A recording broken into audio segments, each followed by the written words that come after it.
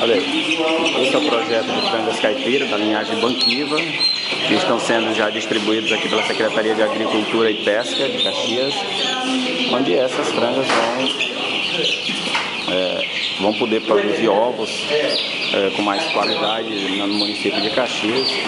A ideia, a, a ideia é exatamente criar, criar aí uma, uma cadeia produtiva local, uma vez que hoje o município de Caxias importa praticamente tudo de fora dos ovos, né?